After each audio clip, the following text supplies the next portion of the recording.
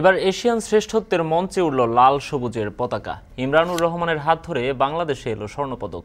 এসব নিয়ে এখন মাঠের আজকের আয়োজন। সঙ্গে আছে আমি নোমান আবদুল্লাহ। আর আমার সঙ্গে স্টুডিওতে আছেন ক্রীড়া সাংবাদিক আরাফাত জুবাইর এছাড়াও ভার্চুয়ালি আমাদের সঙ্গে যোগ দেবেন স্বর্ণজয়ী ইমরানুর রহমান। জুবাইর ভাই আপনাকে স্বাগত জানাচ্ছি আমাদের স্টুডিওতে। আমরা একটু আমরা একটু কথা বলতে চাই ইমরানকে নিয়ে এবং তার কীর্তি নিয়ে। বাংলাদেশের অ্যাথলেটিক্স নিয়ে আমরা একটু আলোচনা করতে চাই। বাংলাদেশের অ্যাথলেটিক্সের হিস্ট্রি আমরা জানতে চাই। বাংলাদেশের অ্যাথলেটিক্সের পরবর্তী কি কি সম্ভাবনা আছে? সব কিছু নিয়ে আমরা আপনার সঙ্গে বিশদ আলোচনা করতে চাই। তার আগে ইমরানকে নিয়ে যিনি স্বর্ণপদক এনে দিয়েছেন বাংলাদেশের তাকে নিয়ে আমাদের একটা প্রতিবেদন আছে। আমরা সেটি একটু দেখে আসতে চাই।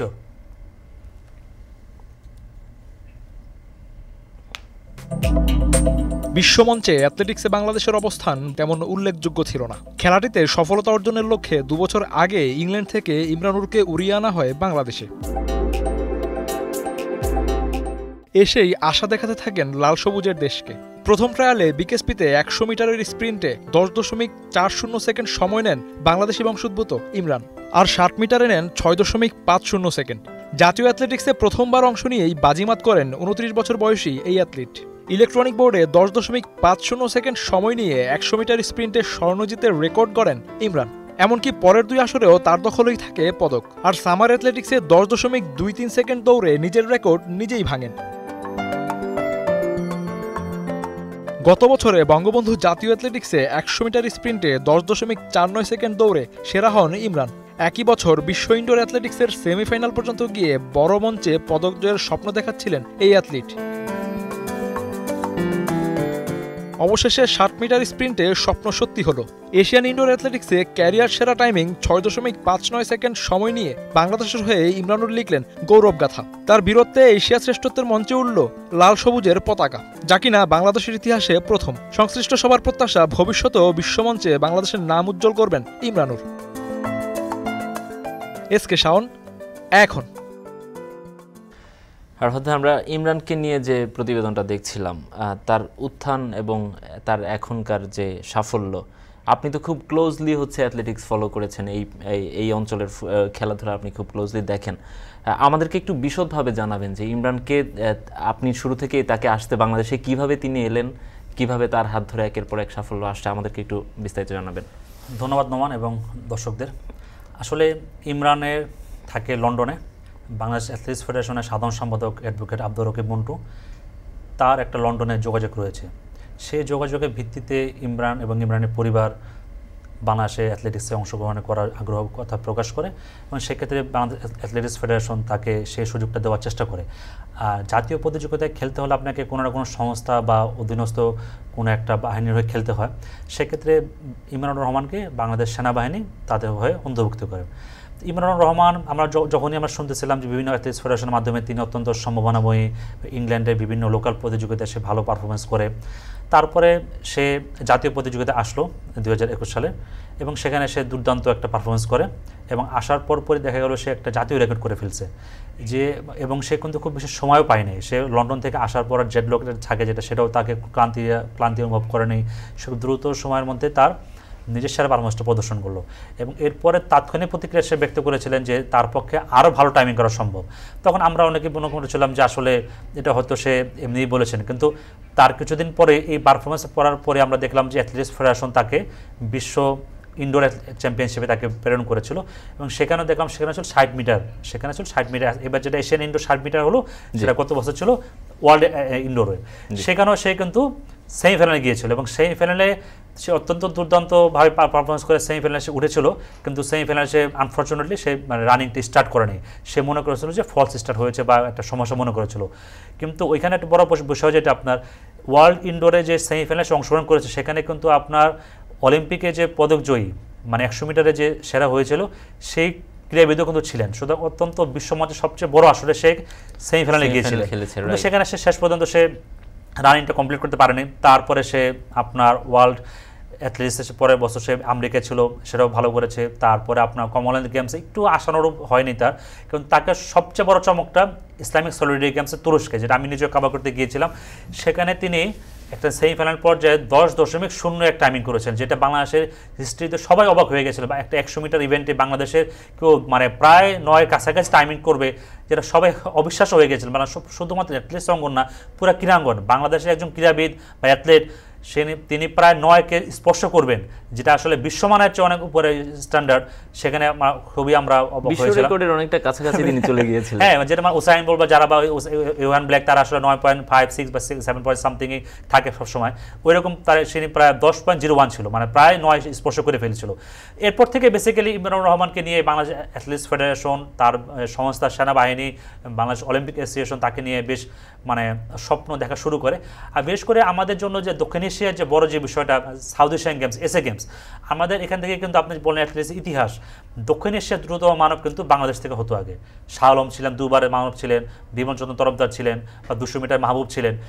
আমাদের এখানে কিন্তু বিগত এক দশকে বা এক যুগে বেশি সময় মানে ট্র্যাক অ্যান্ড ফিল্ডে একশো মিটার বা দুশো মিটার আমাদের সে দাপটটা নেই। যখনই এই গত এক বছর যাবৎ ইমরানের পারফরমেন্সের কারণে আমরা এখন নতুন করে স্বপ্ন দেখছি যে আমাদের যে দক্ষিণ এশিয়ার সেরা মানব, দ্রুত মানব যে একশো মিটারে বা দুশো মিটারে আমরা ইমরানকে স্বপ্ন দেখছি। তো ইমরানের এখানে একটু আপনাদের ক্লারিফাই করে দিই। এখন ইমরানের যে পারফরমেন্স সম্প্রতি হচ্ছে মানে যে এবারে যে ইনডোরে এটা কিন্তু ইনডোর গেমসে মানে এটা এশিয়ান এশিয়ান ইনডোর এবার ইনডোরের মধ্যে হচ্ছে। কিন্তু ইমরান কিন্তু ইনডোরে হলেও কিন্তু আপনার আউটডোরের যথেষ্ট মানে প্রতিভা আউটডোরে তার যথেষ্ট সক্ষমতা রয়েছে। এবং তিনি কিন্তু ইচ্ছা ব্যক্ত করেছেন যে তিনি মানে এশিয়ান ইনডোরে চ্যাম্পিয়ন হলেও তিনি কিন্তু দক্ষিণ এশিয়ান যে সাউথ এশিয়ান গেম, সেখানে বাংলাদেশের স্বর্ণ এনে- দিতে চান এবং সেভাবে তিনি নিজেকে প্রস্তুত করতে চান। সেই হিসেবে আপনি যেটি বলছিলেন যে ইসলামিক সোলিডারিটি গেমসে তিনি যেভাবে পারফর্ম করেছেন, সেই হিসেবে তো এশিয়ান ইনডোর অ্যাথলেটিক্সে যেটাতে তিনি স্বর্ণ জিতলেন, সেখানে তো তিনি তার টাইমিংটা তুলনামূলকভাবে বেশি ছিল। হ্যাঁ তুলনামূলকভাবে আপনি যদি রেশিওটা করেন, যে আসলে মানে সিক্সটি মিটার বা একশো মিটার একটা রেশিও করেন, সেক্ষেত্রে মনে করেন বা ইনডোরে একটু যদি আপনি রেশিও করেন, সেক্ষেত্রে হয়তো বা টাইমিংটা মনে হচ্ছে যে তুলনামূলক একটু বেশি। কারণ যেখানে আপনার আউটডোরে একশো মিটারে টেন পয়েন্ট জিরো ওয়ান সেখানে আপনার ইনডোরে ষাট মিটারে ষাট মিটারে six point five nine but in average কিন্তু আমাদের দৃষ্টিকোণ থেকে বা আমাদের দেশেও যে মানে পারফরমেন্স বা এবিলিটির দিক থেকে তিনি অত্যন্ত ভালো করেছেন। মানে এটা নিয়ে আসলে আর মনে করেন যে কোনো মানে সন্দেহ বা কোনো অবকাশ নেই, তাকে প্রশংসার সাথে দাবিদারি রাখতে হবে।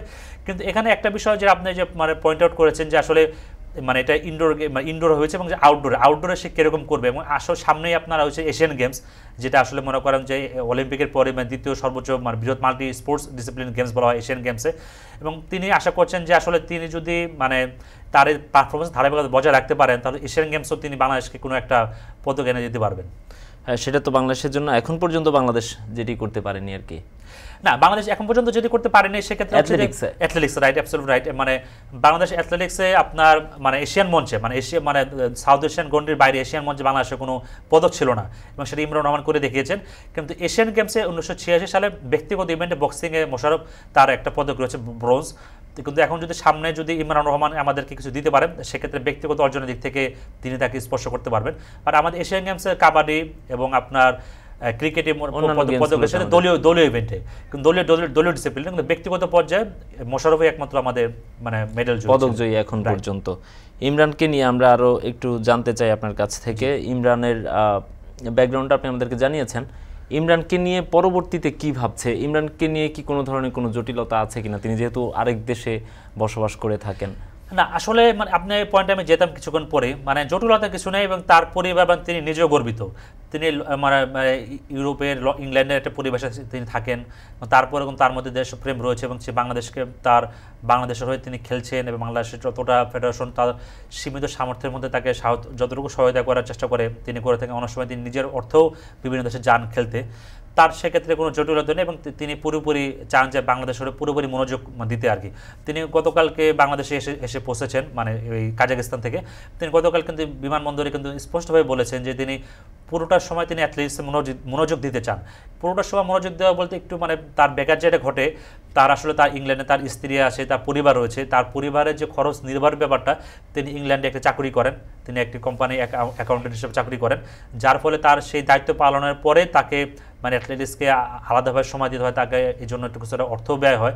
তিনি চান যে আসলে এই অর্থটা যদি ব্যয় না হয় এবং তিনি পুরোটা সময় যদি অ্যাটলিস্ট দিতে পারেন, সে চাকরিটা যদি বাদ দিয়ে তিনি অ্যাটলিস্ট পুরোটা সময় দিতে পারেন, এরকম একটা তার মানে মনোবাসনা রয়েছে।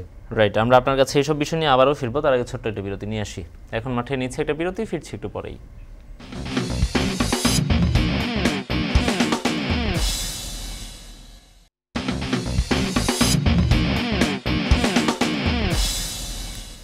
বিরতি শেষে আবারও ফিরে এলাম এখন মাঠের আয়োজনে। আর আমরা তো আপনার সঙ্গে কথা বলছিলামই, আমরা ইমরানের ইমরান ভাইয়ের ঘটনা শুনছিলাম, তার ব্যাকগ্রাউন্ড জানছিলাম। আমরা একটু তাকে তার সঙ্গে যোগাযোগ করতে চাই। তিনি যুক্ত আছেন আমাদের সঙ্গে। ইমরান ভাই, আমাদেরকে আপনাকে শুরুতেই অভিনন্দন জানাতে চাই। দর্শকরা আপনাকে দেখছে, আপনি একটু আমাদেরকে জানাবেন যে কীভাবে আপনি এশিয়ান ইনডোর অ্যাথলেটিক্সের জন্য প্রিপারেশন নিয়েছেন এবং এর, এরপরের রেজাল্ট নিয়ে আপনার আপনার তৃপ্তি কতটা? আপনি কত- কতটুকু স্যাটিসফাইড প্রিপারেশন স্টার্ট করবার সময় হেভি ট্রেনিং ডিসেম্বর টাইম জানুয়ারি টাইম পর্যন্ত নর্মাল ভাবে আমি ট্রেনিং করছি মর্নিং টাইম ট্র্যাক করি uh, আর ইভিনিং টাইম জিম খাম মাঝখানে before indo Asian indo championship warm up race practice করছি পিক শেপ শেপ থাকবা লাগে চ্যাম্পিয়নশিপে আর চ্যাম্পিয়নশিপ ফিনিশ করবার বাদে গোল্ড মেডেল পাওয়া আনবিলিভেবল ফিলিং আছে আমি এক্সপেক্ট করছি না। আলহামদুলিল্লাহ গোল্ড মেডেল বাংলাদেশ থেকে and I am honoured for this reason এর আগেও আপনি আমাদেরকে বেশ কিছু আশা দেখিয়েছিলেন।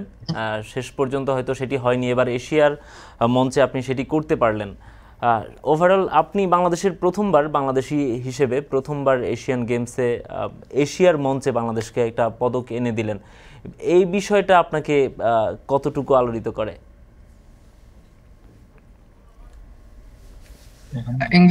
আলহামদুলিল্লাহ আপনি তোরা ইংলিশে কইতে পারবানি আরও বুঝতে পারব। আরেকবার বলব শোনা আরেকবার বলেন ছোট করে বলেন। আচ্ছা মানে বাংলা ইংলিশ মিক্স বলছি মানে বলেন মানে আপনি ইমরান আসলে নোমান যেটা বলছিলেন যে আসলে আপনি তো মানে এশিয়ান পর্যায়ে মানে ইসলামিক সলিডারিটি বা কমনওয়েলথ গেমসও মোটামুটি ভালো পারফরমেন্স করেছিলেন।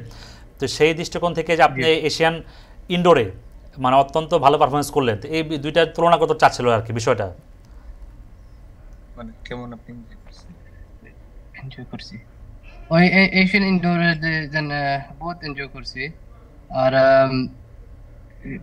ইসলামিক গেমস কমনওয়েলথ গেম সবটা আমার প্রিপেয়ার করছে আর আমার মোটিভেট করছে এশিয়ান ইনডোর গেমে ভালো করছে আর ভেরি গুড ফিলিং আলহামদুলিল্লাহ। আর আরও ইনশাল্লাহ ফিউচারে দি আরও ভালো কিছু করতে পারি দেশে লাগি এশিয়ান গেমে outdoor event hundred metre South game যাতে আশা করি রেপ্লিকেট করতে ট্রাই আগামীতে যেসব টুর্নামেন্টগুলো আছে সেসবের জন্য আপনি নিজেকে কীভাবে প্রিপেয়ার্ড করছেন? করবেন বলে ভাবছেন? এই গেমে নাইলে প্রিভিয়াস গেম করতে এটা। হ্যাঁ নাইলে নেক্সট যে টুর্নামেন্টগুলো আছে জি। নেক্সট গেম তো approximately June July Asian Games September September Asian Games Asian Games September আমি জি, আমি হেভি ট্রেনিং স্টার্ট করব ওখান থাকি আর practice race April April May June tapering করব। আর ইনশাল্লাহ সেপ্টেম্বর টাইম আমার পিক শেপ যদি থাকতে পারি ওইটা আমার এইম সেপ্টেম্বর লাগে আমার ভালো কন্ডিশন থাকতো বডি ফাস্ট ট্রেনিং করব। মাসেল অ্যাডজাস্ট করবা লাগে কম্পিটিটিভ ট্রেনিং সময়। অ্যাথলেটিক্স ফেডারেশনের কাছে কি আপনার কোনো ডিমান্ড আছে যেটা মানে যে ধরনের অপরচুনিটিস পেলে আপনি হচ্ছে আরেকটু বেটার প্রিপারেশন নিতে পারেন? জি ফেডারেশন আর অলিম্পিক অ্যাসোসিয়েশন তারা সব হেল্পিং করে আবো, তারা চলে like they working on something আমার মোর সাপোর্ট দেওয়ার লাগি। ইনশাল্লাহ আইব at the moment currently তারা হেল্পিং করা উইথ মেনি সাপোর্ট দিবা সাপোর্ট আছে আর আর- সাপোর্ট ইনশাল্লাহ আইব। আচ্ছা ইমরান ভাই আপনাকে অসংখ্য ধন্যবাদ আমাদের সঙ্গে যুক্ত হওয়ার জন্য।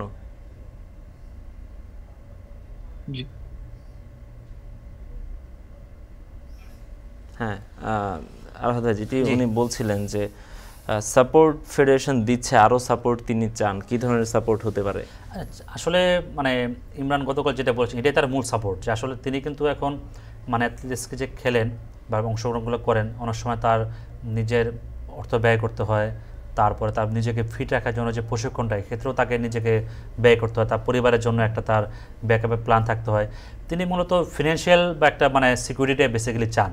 এর পাশাপাশি মনে করেন যদি তাকে আরও একটু উন্নত মানের ট্রেনিং বা আরও উন্নত মানের কোর্স দেওয়া যায় মানে এটাও তার একটা চাহিদার মধ্যে রয়েছে আর কি।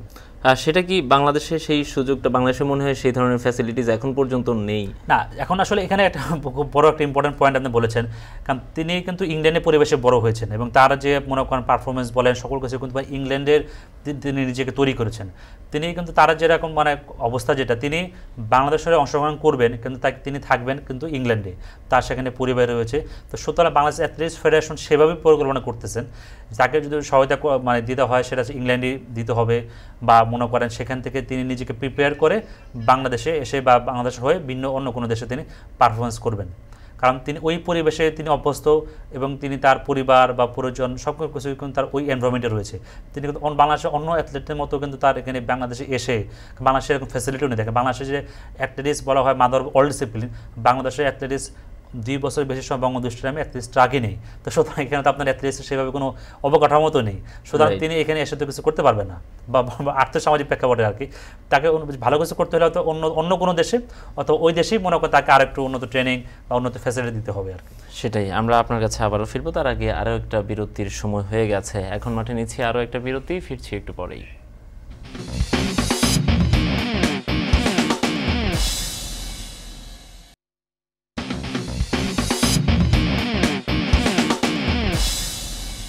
বিরতি শেষে আবারও ফিরে এলাম এখন মাঠের আয়োজনে। আরাফাত ভাই, আমরা যেটি নিয়ে আলোচনা করছিলাম, বাংলাদেশের ফ্যাসিলিটিস অ্যাথলেটিক্সে বাংলাদেশের অবস্থা ইমরানের এই সাফল্যের পর বাংলাদেশ অ্যাথলেটিক্স কি এখন কিছুটা ভিন্নভাবে চিন্তাভাবনা করবে? আবার কি কিছুটা ঘুরে দাঁড়ানোর চেষ্টা করবে? হ্যাঁ অবশ্যই। মানে বাংলাদেশ অ্যাথলেটিক্সে আমি বলব, খুবই একটা সুন্দর সময় যাচ্ছে। কারণ বাংলাদেশ অ্যাথলেটিক্স ফেডারেশনের সম্প্রতি সভাপতি যিনি হয়েছেন, তিনি মাননীয় প্রধানমন্ত্রীর মুখ্য সচিব এবং তার তিনি ফেডারেশন সভাপতি দায়িত্ব নেওয়ার পর থেকেই বাংলাদেশ অ্যাথলেটিক্স ফেডারেশন একটা যুগান্তকারী পদক্ষেপ নিয়েছে। যেমন দেশের তৃণমূল পর্যায়ে আপনার স্কুল ও মাদ্রাসা পর্যায়ে অ্যাথলেটিক্স প্রতিযোগিতা চলছে। যেটা কিন্তু বাংলাদেশ অ্যাথলেটিক্স ফেডারেশন ইতিহাস পঞ্চাশ বছর ইতিহাসে কিন্তু হয়নি। এই কার- কর্মকাণ্ড বা এই আপনার যখন এই কাজটা চলছে, ঠিক সে সময় কিন্তু ইমরানের পারফরমেন্সটা হলো আর কি। তো দুইটা কিন্তু খুব একটা দারুণ একটা দারুণ সময়। পাশাপাশি আজকে আর একটা ভালো খবর হচ্ছে আমি আপনাদের আপনার মাধ্যমে আমি দর্শক জানাতে চাই। ইমরান এশিয়ান ইনডোরে সিক্সটি মিটারে যেমন চ্যাম্পিয়ন হয়েছে এবং আজকে এশিয়ান অ্যাথলেটিক্স ফেডারেশন সিক্সটি মিটারে একটা আপনার র্যাঙ্কিং করেছে এবং সেখানে তিনি জয়েন্টলি নাম্বার ওয়ান আর কি হয়েছেন। আর তার সাথে একজন চাইনিজ দৌড়বিদ রয়েছেন। তারা এখন নাম্বার ওয়ান জয়েন্টলি আছেন। তো এখন বাংলাদেশ অ্যাথলেটিক্স ফেডারেশন বা বাংলাদেশ অ্যাথলেটিক্স এখন একটা খুব সুন্দর সময় পার করতেছে। তো এখন আমার মতে বাংলাদেশ অ্যাথলেটিক্স ফেডারেশন যদি সুন্দর একটা পরিকল্পনা নেয় ইমরানকে কেন্দ্র করে। পাশাপাশি বাংলাদেশ অ্যাথলেটিক্স ডেভেলপমেন্টকে কেন্দ্র করে যে আসলে ইমরান আমাদের একটা মেন্টর যে কোনো খেলায় কিন্তু মেন্টর লাগবে। দেখেন বাংলাদেশে একজন তরুণ একজন মনে করেন আপনার স্কুল গোয়িং ছেলে সে কিন্তু বাংলাদেশে সাকিব আল হাসান মাস্টার হতে যাকাম তিনি একটা মেন্টর সেট হয়েছে। কিন্তু বাংলাদেশ অ্যাথলেটিক্সে কিন্তু বিগত সাম্প্রতিক সময় কিন্তু সেরকম মেন্টর ছিল না যে যাকে মানে মানুষ ইন্টারেস্ট idol ছিল না, আইডল ছিল না। follow করে অন্যরা এখন কিন্তু ইমরান সেই জায়গাটা তৈরি করেছে। এখন বাংলাদেশ অ্যাথলেটিক্স ফেডারেশন উচিত ইমরানকে সামনে রেখে নতুন প্রজন্মের অ্যাথলেট তৈরি করা। গতকালকে মাননীয় সভাপতি সেটা বলেছেন যে আসলে ইমরানকে আমরা বিভিন্ন ক্ষেত্রে মানে মেন্টর হিসেবে কাজে লাগাতে চাই। যেহেতু, যদি এটা সঠিকভাবে বাস্তবায়ন হয় এবং মনে করেন যে বাংলাদেশের অ্যাথলেটিক্সে কিন্তু মানুষের ট্যালেন্ট রয়েছে। বাংলাদেশে কিন্তু ট্যালেন্ট রয়েছে এবং ট্যালেন্টগুলো আসলে যে পরিচর্যার অভাব, অবকাঠামোগত সমস্যা, দেখেন আসলে বাংলাদেশে যে বঙ্গবন্ধু জাতীয় স্টেডিয়ামে প্রায় দুই বছর যাবৎ আপনার ট্র্যাক নাই। এবং গত ট্র্যাক মনে করেন যারা ছিল বিগত সময় যে অ্যাথলিস্ট হয়েছে সেটা কোনো সময় ছিল ছেঁড়া কোনো সময় ছিল মনে করেন ঝুঁকিপূর্ণ এভাবেই কিন্তু অ্যাথলিস্ট চলেছে। সুতরাং এভাবে কিন্তু আপনার মনে করেন ভালো মানে অ্যাথলেট তৈরি হবে না।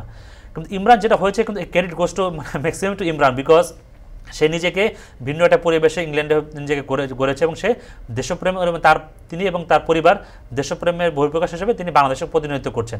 আমি মনে করি ইমরানের এই ফলাফলের মাধ্যমে বাংলাদেশের ক্রীড়াঙ্গনে বড় বড় একটা মেসেজ যেমন জামাল ভুইয়া, আমাদের জাতীয় ফুটবলের অধিনায়ক, তারপর ইমরান রহমান বা জিমন্যাস্টিক্স ছিলেন সাইক সিজার, এরকম যারা আমাদের বাংলাদেশে যারা রয়েছেন বিভিন্ন দেশে যারা ক্রীড়া অনুরাগী তার পরিবার চায় বাংলাদেশ হয়ে অংশগ্রহণ করবে। আমার মতে অন্যান্য ফেডারেশনের উচিত এরকম প্রতিভাবান লোকদের খুঁজে বের করা। তাহলে বাংলাদেশে মানে আন্তর্জাতিক অঙ্গনে বাংলাদেশের ফলাফল আসবে এবং এটা কিন্তু আসলে অনেকে মনে করতে পারে তারা ভিন্ন দেশে থাকে বা তারা তো বাংলাদেশি। কোনো সমস্যা নেই। কারণ আপনারা দেখবেন যে ফুটবল বিশ্বকাপ দু হাজার মানে ফ্রান্স চ্যাম্পিয়ন হয়েছে তারা কিন্তু বেশি আমি মাইগ্রেট প্লেয়ার সুতরাং এটা কিন্তু আন্তর্জাতিক ক্রীড়াঙ্গনে খুবই একটা মানে কমন প্র্যাকটিস আমরা বাংলাদেশ ক্রীড়াঙ্গনের নীতি নির্ধারকদের বিষয়টি আরও জোর দেওয়া উচিত। জোর দেওয়া উচিত এবং যেহেতু এখন একটা সুদিন শুরু হয়েছে সেটির সেটিকে ধরে রেখেই আশা করি বাংলাদেশ অ্যাথলেটিক্স ফেডারেশন এগিয়ে যাবে তাদের পরবর্তী গন্তব্য তারা ঠিক সেটা আশা করি। আমরাও সেটাই আশা আশা করি। আপনাকে অসংখ্য ধন্যবাদ আমাদেরকে স্টুডিওতে এসে সময় দেওয়ার জন্য। ধন্যবাদ আপনাকে। শেষ করছি এখন মাঠের আজকের আয়োজন। এখন টেলিভিশন ফেসবুকে দেখতে ভিজিট করুন Facebook dot com slash TV dot Ekhon এবং ইউটিউবে দেখতে ভিজিট করুন YouTube dot com slash C slash Ekhon TV